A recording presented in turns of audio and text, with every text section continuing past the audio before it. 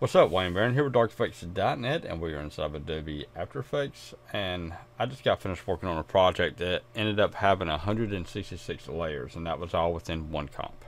And so, uh, because I was having to jump around and edit all the keyframes, and if I would have had them in multiple comps, it just it would have been a nightmare. So I just kept everything inside one comp. So one thing that I found while working inside that big project, that big comp, was that it was hard to find my layers within the timeline because I had uh, everything open showing my keyframes um, at least I'd say out of the 166 that ended up being inside of the project at the very end have about a hundred layers open showing my keyframes so it got really really hard to find it.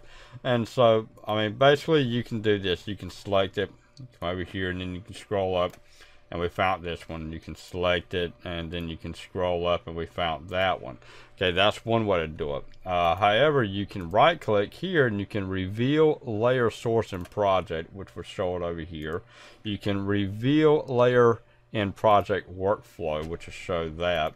And then you can also reveal uh, in Explorer if you've already saved it. And I haven't saved it. I just made this really quick for the project or for this lesson However, there is not one that you can right click and choose reveal in timeline.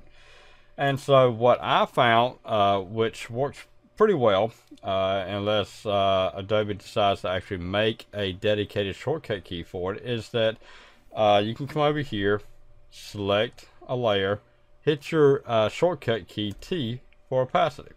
And since it's going to open up that layer so that you can work within the opacities keyframes, it will automatically jump to that section. Come over here, hit T for that one. Over here, hit T for that one.